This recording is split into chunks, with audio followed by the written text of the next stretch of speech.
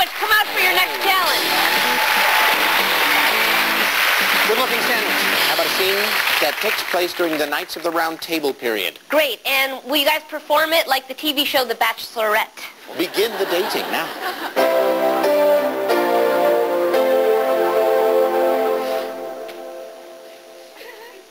Who shall receive the royal sausage?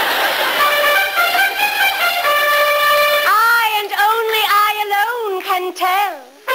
But I may say that all you gentlemen did so very well. However, only one can stay and wear my crown and dagger. Whoe'er that shall be, we shall see, or else we'll wait till later. Come forth, sir, and tell me your tale. My lady, my name is Eric, and I have made many fine monster funny cars in my day. Shined their shininess, made them enter the field of battle, and battle against other cars. I'm a simple man from simple places with simple things to say, like, thou art five. Huzzah! Huzzah! It seems to me that one that works with cars must have an engine strong and good. But what is this? Who doth come here now and challenge with yet a single rose? What man is this who now fair Eric would depose?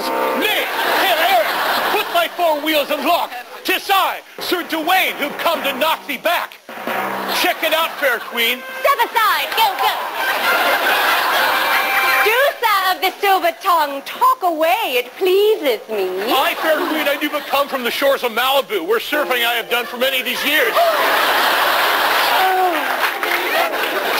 Buff am I, with not a thought between my head except the surf reports. I would fair give thee this flower, shimmering like the plankton on the water thou art.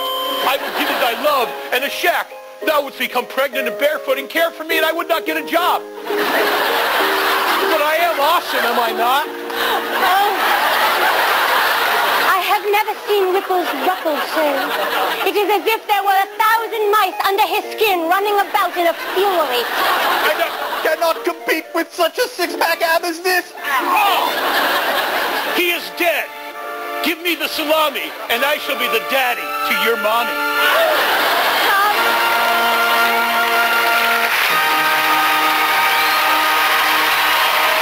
There. Man, I'm speechless. That was fantastic. McShane, of course, being the dad to Michele's mommy. Okay, so